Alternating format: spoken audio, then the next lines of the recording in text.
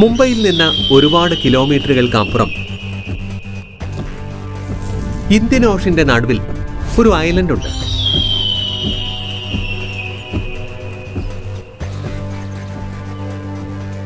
അവിടെയാണ് ലോകത്തിലെ ഏറ്റവും അപകടകാരിയായ ജയിലുള്ളത്. ഈ ജയിൽ കാമഫ്ലാഷ് ആണ് അതായത് ഇതിനടുത്തുകൂടെ ഒരു പ്ലെയിൻ പോയാൽ അതിലുള്ളവർക്ക് മനസ്സിലാവില്ല ഇവിടെ ഒരു ജയിലുണ്ടെന്ന്. ഇവിടെ നിന്ന് ഇതുവരെ ഒരു തടവുകാരനും രക്ഷപ്പെട്ടു പോയിട്ടില്ല. ഇവിടെ ലോകത്തിലെ ഏറ്റവും അപകടകാരികളായ തടവുകാരെയാണ് പാർപ്പിക്കാറുള്ളത്. ഇവിടെയുള്ള പോലീസുകാർ നല്ല ഫൈറ്റർ ആയിരിക്കും ഈ പോലീസിൽ നിന്ന് രക്ഷപ്പെട്ടു പോകുന്നത് ഇമ്പോസിബിളുമാണ്.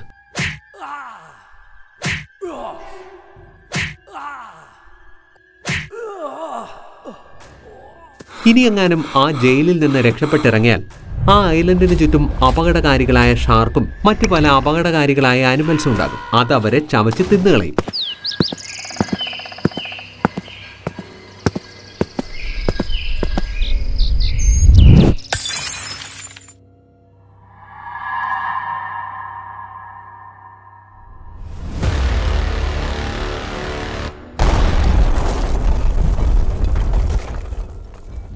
ഐലൻഡിന്റെ നാലു പാടും നാല് തൂണുകളുണ്ട്. അത് മല പോലെ കാണപ്പെടും. പക്ഷേ യഥാർത്ഥത്തിൽ ഇത് പാറാവിന് വേണ്ടി ഉണ്ടാക്കിയതാണ്.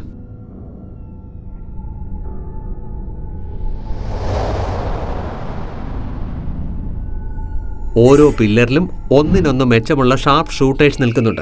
അവരുടെ ഉന്നം ഒരിക്കലും പിഴയ്ക്കാറില്ല.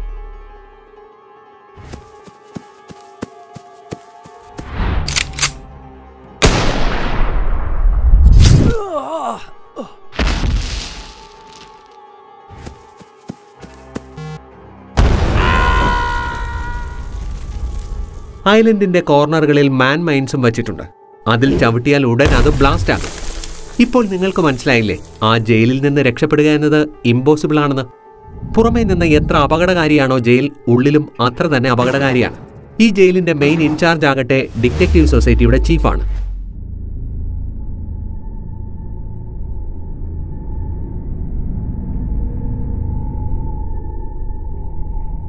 ഇതിനകത്താണ് ബിഗ് ഡാഡിയെ പാർപ്പിച്ചിരിക്കുന്നത്.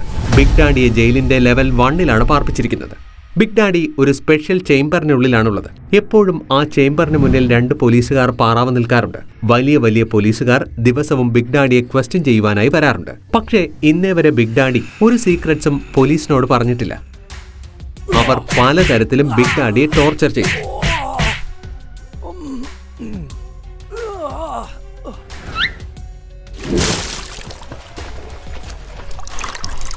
പക്ഷേ ബിഗ് ഡാഡി വായ തുറന്നിട്ടില്ല. ബിഗ് ഡാഡിക്ക് ഭക്ഷണം നൽകുവാനായി അയാളുടെ ചേംബറിൽ പോലീസുകാരൻ വരുമ്പോൾ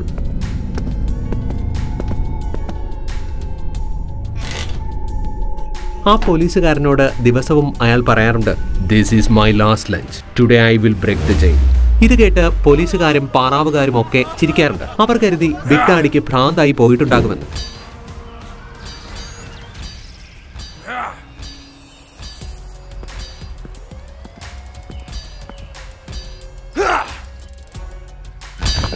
Ah!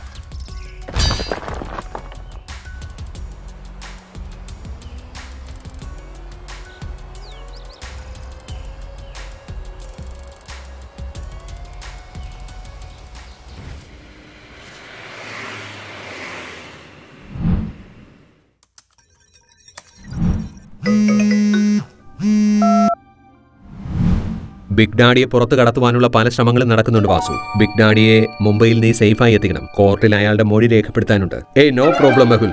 ഞാൻ ബിഗ് ഡാഡിയെ സേഫായി മുംബൈയിൽ എത്തിക്കാം. ഇന്ത്യൻ ഓഷ്യനിൽ എവിടെയോ ആണ് ഈ ജയിൽ എന്ന ബിഗ് ഡാഡിയുടെ ആൾക്കാർക്കൊക്കെ അറിയാം. പക്ഷേ അതെവിടെയാണെന്ന് മാത്രം അറിയില്ല. ബിഗ് ഡാഡിയുടെ സബ്മറൈൻസ് ഫൈറ്റർ പ്ലെയിൻ ഹെലികോപ്റ്റർ ഇതെല്ലാം മാസങ്ങളായി ആ ജയിൽ കണ്ടുപിടിക്കുവാനുള്ള ശ്രമത്തിലാണ്. പക്ഷേ ആർക്കും അത് കണ്ടുപിടിക്കുവാൻ കഴിഞ്ഞില്ല. വാസു ബിഗ് ഡാഡിയെയും കൊണ്ട് ഒരു ഷിപ്പിൽ യാത്ര തിരിച്ചു.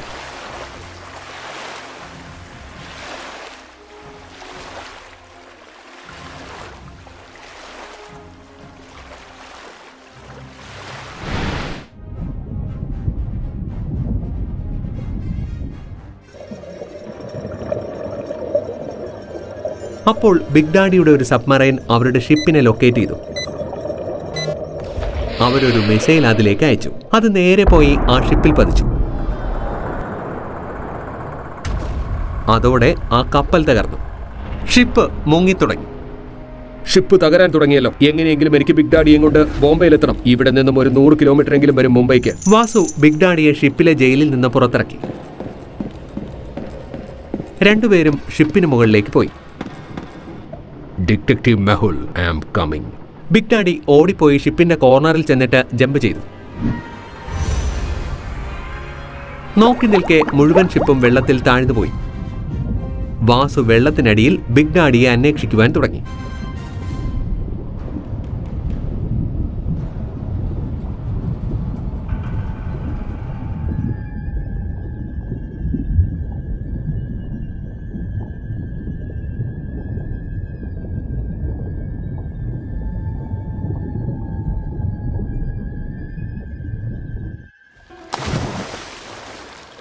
No big daddy മരിച്ചിട്ടുണ്ടാകുമോ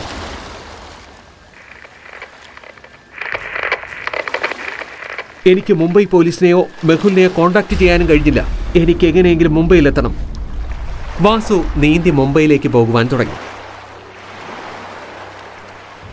Vasu big ഡാഡിയുമായി ഉടനെ ഇവിടെ എത്തും നമുക്ക് സീക്രട്ട് ആയിട്ട് അയാളെ കോർട്ടിൽ ഹാജരാക്കണം. അപ്പോൾ മെഹുലിന് ഒരു ഷാഡോ വർക്കറിന്റെ കോൾ വരുന്നു. അയാൾ പറഞ്ഞു ആ ഷിപ്പ് തകർന്നു പോയിരിക്കുന്നു. ചിലപ്പോൾ വാസുവും ഡാഡിയും മരണപ്പെട്ടിരിക്കാമെന്ന്. അത് സംഭവിക്കില്ല. എന്തോ പ്രശ്നമുണ്ട്. ആദി നീ സിഗ്നൽ ട്രാക്ക് ചെയ്ത് എന്താണ് ഉണ്ടായതെന്ന് നോക്ക്. ഞാൻ നേവിയോടൊപ്പം ഷിപ്പ് തകർന്ന സ്ഥലത്തേക്ക് പോവുകയാണ്. മെഹുൽ നേവിയോടൊപ്പം ജയിലിലേക്ക് യാത്ര തിരിച്ചു.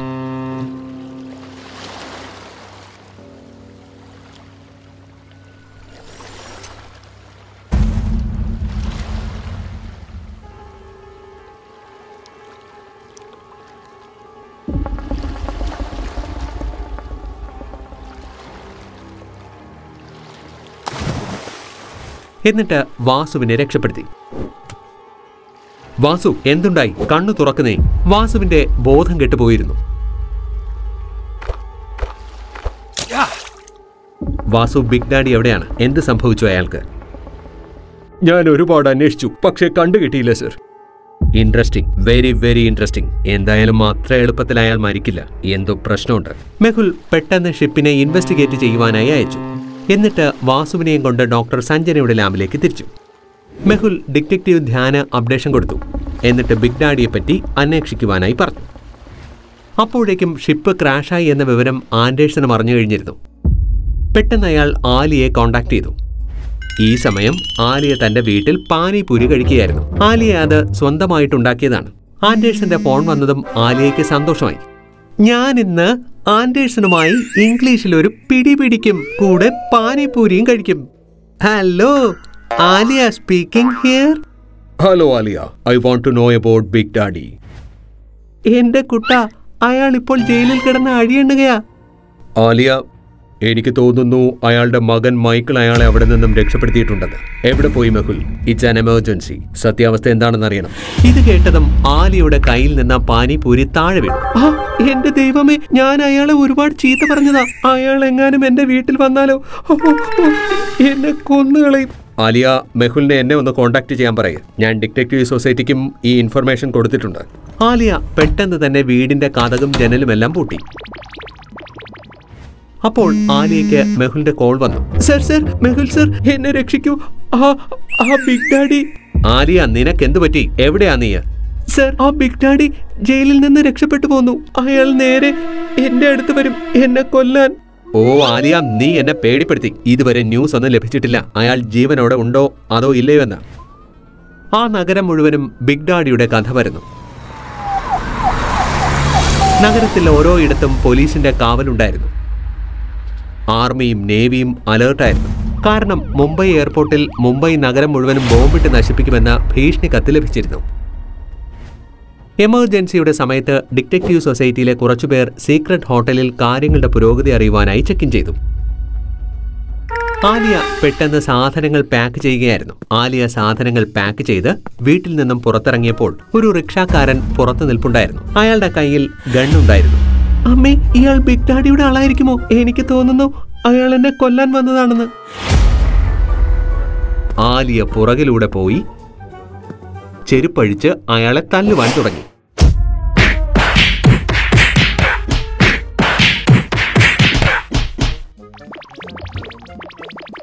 മാഡം മാഡം എന്തുണ്ടായി മാഡം? ആലിയ ആ ഗണ്ണെടുത്ത് നോക്കിയപ്പോൾ അതൊരു പ്ലാസ്റ്റിക് ഗണ്ണായിരുന്നു. മാഡം ഇതൊരു പ്ലാസ്റ്റിക് ഗണ്ണാണ്. ഞാൻ എന്റെ കുട്ടിക്ക് കൊടുക്കുവാനായി വാങ്ങിച്ചതാ. സോറി ബ്രദർ എനിക്ക് തോന്നി ഇത് യഥാർത്ഥ തോക്കാണെന്ന്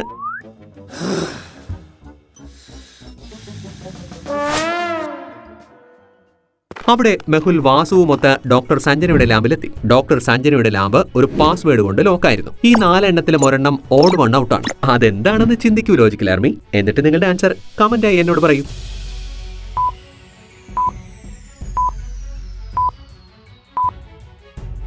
Burger pizza French fries. ഇതൊന്നും ഹെൽത്തി ഫുഡല്ല ജ്യൂസ് ഹെൽത്തിയും നാച്ചുറലുമാണ് മെഹുൽ ജ്യൂസ് പ്രസ് ചെയ്തു. അപ്പോൾ അത് തുറന്നു. ലാബിനകത്ത് കടന്നപ്പോൾ ഡോക്ടർ സഞ്ജന റിസർച്ച് ചെയ്യുകയായിരുന്നു. ഡോക്ടർ സഞ്ജന വാസുവിന്റെ ചികിത്സ ഉടനെ തുടങ്ങണം. മെഹുൽ ആദ്യം വിളിച്ചു.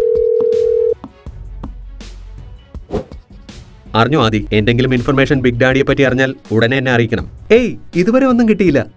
ഞാൻ സിഗ്നൽ ട്രാക്ക് ചെയ്യുവാൻ ശ്രമിക്കുന്നുണ്ട്. ആദി നീ ഇനി സീക്രട്ട് ഹോട്ടലിലേക്ക് ചെല്ല്. അവിടെ നിന്റെ ആവശ്യമുണ്ട്. കോൾ വച്ചതും മെഹുലിനെ ഡിറ്റക്റ്റീവ് ഫാത്തിമയുടെ കോൾ വന്നു. രണ്ട് ദിവസത്തിന് ശേഷം ഇവിടെ പാകിസ്ഥാനിൽ ഒരു വലിയ ഗൺ ഡീൽ നടക്കുന്നുണ്ട്. ഈ ഡീൽ ഇനി ബിഗ് ഡാഡിയുമായി റിലേറ്റഡ് ആയിരിക്കുമോ? ഇൻട്രസ്റ്റിംഗ് വെരി വെരി ഇൻട്രസ്റ്റിംഗ് എത്രയും പെട്ടെന്ന് ഇതിനെപ്പറ്റി അന്വേഷിക്കണം. മെഹുൽ പെട്ടെന്ന് ആലിയെ വിളിച്ചു. ആലിയ നീ എത്തിയോ? സർ ഞാൻ ഹോട്ടലിന് പുറത്തിരിക്കുകയാണ്. ഇവിടെ ഒരു ദിവസത്തെ റെന്റ് പന്ത്രണ്ടായിരം രൂപയാ. എന്റെ അടുത്ത് ഇത്രയും പൈസയൊന്നും ഇല്ല സർ. ആലിയ നീ നിന്റെ കാർഡ് കാണിച്ചില്ലേ? അരെ യാർ ഞാൻ ഡിറ്റക്റ്റീവ് ഏജൻസി കാർഡ് വീട്ടിൽ മറന്നു വെച്ചിട്ടാ വന്നത്. ആലിയ നീ ആ നീ ഇനി ഹോട്ടൽ വിട്. ഡോക്ടർ സഞ്ജനയ്ക്ക് നിന്റെ ആവശ്യമുണ്ടാകും നീ അവിടെ ലാബിലേക്ക് ചെല്ല്. രണ്ട് ദിവസത്തിനകം ബിഗ് ഡാഡി പാകിസ്ഥാനിൽ ഒരു വലിയ ഗണ്ടിയിൽ നടത്തുവാൻ സാധ്യതയുണ്ട്. ഞാൻ അങ്ങോട്ടേക്ക് പോകുകയാ. നീ ഡോക്ടർ സഞ്ജനയെ നോക്കിക്കൊള്ളണം. സർ സർ ഞാൻ നിങ്ങളോടൊപ്പം പാകിസ്ഥാനിലേക്ക് വരാം. വേണ്ട ആലിയ. നീ ഇവിടെ നിന്ന് ബാക്കിയുള്ളവരെ ശ്രദ്ധിച്ചോളണം. ഞാൻ മൂന്ന് ദിവസത്തിന് ശേഷം തിരിച്ചു വരും. ആലിയ മെഹുലിന്റെ വാക്കുകൾ കേട്ട് ഉദാസീനയായി. ശരി സർ. ഞാനിവിടെ നിന്നോളാം. അതിനുശേഷം മെഹുൽ അവിടെ നിന്നും തിരിച്ചുപോയി. ആലിയ തന്റെ സ്കേറ്റ് ബോർഡ് എടുത്തുകൊണ്ട് ഡോക്ടർ സഞ്ജനയുടെ ലാബിലേക്കും പോയി.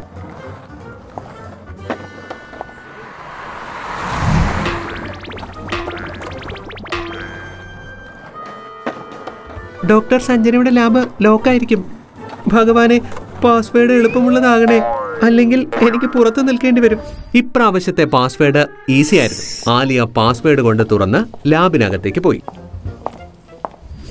ഇവിടെ ഡിറ്റക്റ്റീവ് ടീം ഓസ്ട്രേലിയയിൽ ക്രിക്കറ്റ് കളിക്കുകയായിരുന്നു. ടിം തന്റെ ജോലിയിൽ നിന്ന് ഒരു മാസത്തേക്ക് ബ്രേക്ക് എടുത്ത് ഓസ്ട്രേലിയയിൽ ക്രിക്കറ്റ് കളിക്കുവാൻ പോയിരുന്നു. ടിമ്മിന് ബിഗ് ഡാഡിയെ പറ്റി ഒരു വിവരവും ലഭിച്ചിരുന്നില്ല. ഫാത്തിമ ടിമ്മിനെ ഒരുപാട് പ്രാവശ്യം വിളിച്ചതാണ്. പക്ഷേ ടിമ്മിന്റെ മൊബൈൽ ബാഗിൽ സൈലന്റിലായിരിക്കുകയായിരുന്നു.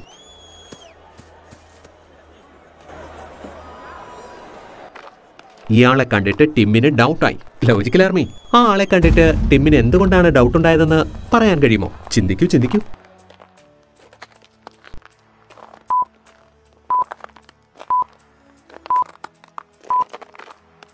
ശ്രദ്ധിച്ചു നോക്കൂ. അയാളുടെ പക്കൽ ഗണ്ണുണ്ട്. ക്രിക്കറ്റ് ഗ്രൗണ്ടിൽ ആരെങ്കിലും ഗണ്ണുമായി വരുമോ? ടിം പ്രതിരോധിക്കുവാനായി ബാറ്റ് മുറുകെ പിടിച്ചു. പക്ഷെ അയാൾ ടിമ്മിനടുത്ത് വന്നിട്ട് ഒരു കാർഡ് കാണിച്ചു. ടിം പെട്ടെന്ന് അയാളെ സല്യൂട്ട് ചെയ്തു. ടിം ഹോളിഡേയ്സ് മതിയാക്കി തിരിച്ചു വരൂ. ബിഗ് ഡാഡി മിസ്സിംഗ് ആണ്. ഇവിടെ മെഹുലിന് പാകിസ്ഥാനിൽ പോകുവാനായി വിസ ലഭിക്കുന്നില്ല. മെഹുൽ തന്റെ ഏജന്റിന്റെ ട്രൂ കോപ്പി വെച്ച് ട്രൈ ചെയ്തു നോക്കി. പക്ഷേ വിസ ലഭിച്ചില്ല. മെഹുൽ നോർമൽ ഉടുപ്പ് ധരിച്ച് പാകിസ്ഥാന്റെ ബോർഡറിൽ ചെന്നു. അവിടെ ഇന്ത്യൻ ആർമി ഉണ്ടായിരുന്നു. ഞാൻ ഡിറ്റക്റ്റീവ് മെഹുലാണ്. ഞാനൊരു സീക്രട്ട് മിഷനിലാണ് ഇപ്പോൾ ഉള്ളത്. എനിക്ക് പാകിസ്ഥാനിലേക്ക് പോകണമായിരുന്നു. ആർമി ഓഫീസർ പറഞ്ഞു അവിടെ പാകിസ്ഥാന്റെ ആർമിയുടെ ആൾക്കാരുണ്ടാകും. അവർ മെഹുലിനെ കണ്ടാൽ ഉടനെ വെടിവെക്കുമെന്ന്. അപ്പോൾ മെഹുൽ ആർമിയോട് ഡിറ്റക്റ്റീവ് ഫാത്തിമയെക്കുറിച്ച് പറഞ്ഞു. Don worry officer detective Fatima എന്നെ പിക്കപ്പ് ചെയ്തോളൂ.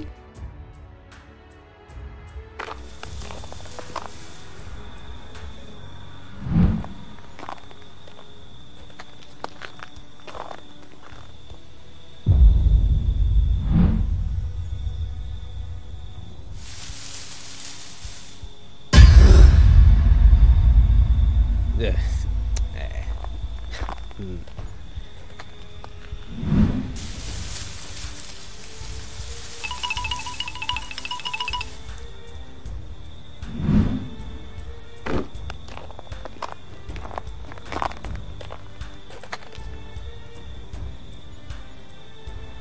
മെഹുൽ ബോർഡർ വഴി പാകിസ്ഥാനിലേക്ക് എന്റർ ചെയ്തു. മെഹുൽ ഇതാദ്യമായാണ് ഇങ്ങനെ ഒളിച്ച് പാകിസ്ഥാനിലേക്ക് കടക്കുന്നത്. മെഹുൽ ഒളിച്ചൊളിച്ച് മുന്നോട്ടേക്ക് നടന്നു. പക്ഷേ പെട്ടെന്ന് മെഹുൽ മരത്തിന് പുറകിൽ ഒളിച്ചു. എന്നാൽ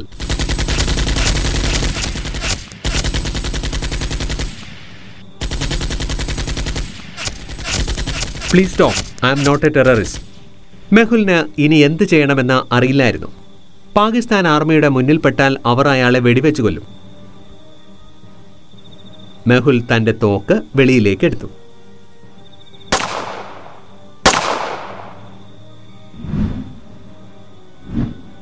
എന്നിട്ട് ഹാൻഡ്സപ്പ് ചെയ്തു.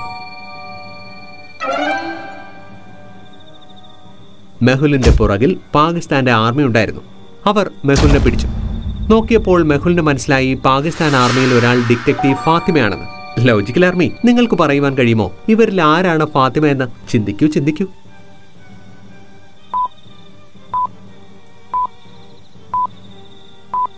ഒരു സോൾജിയർ ഓൺ ഡ്യൂട്ടിയിൽ സ്പോർട്സ് ഷൂ ആണ് ധരിച്ചിരിക്കുന്നത്. അത് ഡിറ്റക്റ്റീവ് ഫാത്തിമ ആയിരിക്കും. ഹായ് ഫാത്തിമ ഞാൻ detective മെഹുലാണ്. What a surprise detective Mehul. താങ്കൾ ആദ്യമേ പറയാത്തത് എന്താ? ഞാൻ ഡിറ്റക്റ്റീവ് മെഹുലാണെന്ന്. രണ്ടുപേരും ചിരിക്കുവാൻ തുടങ്ങി. എന്നിട്ട് പരസ്പരം ഷേക്ക് ഹാൻഡ് ചെയ്തു.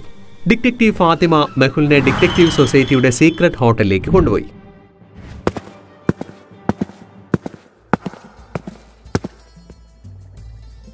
Room number seven zero one zero Fatima മാപ്പിൽ ഭീകരരുടെ ഡീലിനെ പറ്റി പറഞ്ഞു കൊടുത്തു. കറാച്ചി ബീച്ചിൽ നാളെ വൈകുന്നേരം കുറച്ച് ആൾക്കാർ വരുന്നുണ്ട്. നമ്മളവരെ ഓൺ ദി സ്പോട്ട് പിടിച്ചാൽ നമുക്ക് ഈ ഡീൽ തടയുവാൻ കഴിയും. എങ്ങനെയെങ്കിലും നമുക്ക് ഈ ഡീൽ ക്യാൻസൽ ചെയ്യണം. എന്നിട്ട് അവരെ പിടിക്കുകയും ചെയ്യണം. അതുവഴി നമുക്ക് ബിഗ് ഡാഡിയെ പറ്റി എന്തെങ്കിലും വിവരം ലഭിച്ചാലോ? അതിനുശേഷം മെഹുൽ ഒന്ന് കുളിച്ചു. അയാൾ വളരെയധികം ക്ഷീണിച്ചിരുന്നു. മാഷാ അള്ള മെഹുൽ താങ്കൾ തികച്ചും ഒരു പഠാനെ പോലെ തന്നെയുണ്ട്. Pathan but not Shahrukh Khan oh no. ഞാൻ മെഹുൽ സാറിനോട് ഡിറ്റക്റ്റീവ് ആൻഡേഴ്സൺ വിളിച്ച കാര്യം പറയാൻ മറന്നുപോയി. ആലിയ പെട്ടെന്ന് മെഹുലിനെ വിളിച്ചു. സർ ഡിറ്റക്റ്റീവ് ആൻഡേഴ്സന്റെ കോൾ വന്നിരുന്നു. സർ പറയുകയായിരുന്നു ഇതിന്റെ പുറകിൽ മൈക്കിളിന്റെ കൈ എന്തായാലും ഉണ്ടാകുമെന്ന്. ഇൻട്രസ്റ്റിംഗ് വെരി വെരി ഇൻട്രസ്റ്റിംഗ് പിറ്റേ ദിവസം ഫാത്തിമയും മെഹുലും കറാച്ചി ബീച്ചിലേക്ക് പോയി. ബീച്ചിൽ അപ്പോൾ രണ്ട് ഷിപ്പ് വരികയായിരുന്നു. ഫാത്തിമ അവർ വരികയാണെന്ന് തോന്നുന്നു. പക്ഷെ എങ്ങനെ കൺഫേം ചെയ്യും? അത് അവർ തന്നെയാണെന്ന്. ലോജിക്കൽ ആർമി അവർ തന്നെയാണെന്ന് മെഹുൽ എങ്ങനെ കൺഫേം ചെയ്യും? ചിന്തിക്കൂ ചിന്തിക്കൂ.